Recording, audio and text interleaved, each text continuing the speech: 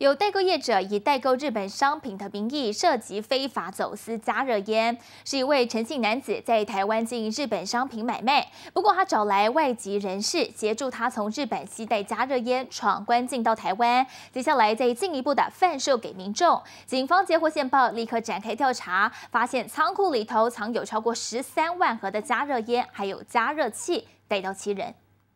场外日籍男子透过翻译了解状况，涉及不法案件也只能乖乖配合警方上铐。原来他涉嫌走私日本加热烟进入台湾，而警方向上追查，更追到背后主嫌。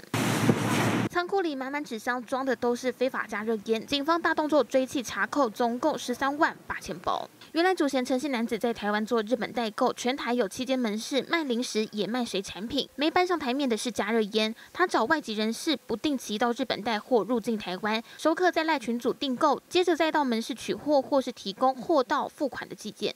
实际回到店家门市，明明是假日，却是紧闭铁门。卖那个。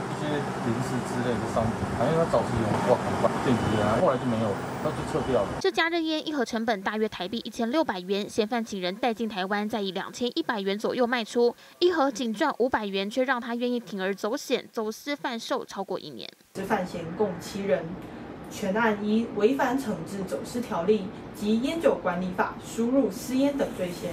移送士林地检侦办。家庭法官裁定诚信被告三十万元交保，中国籍周姓被告十万元交保，而日籍被告五千元交保，两人都被限制出境出海。目前案件进入调查阶段，是否有其他不法情事，仍持续追查。记者彭玉阳好台北报道。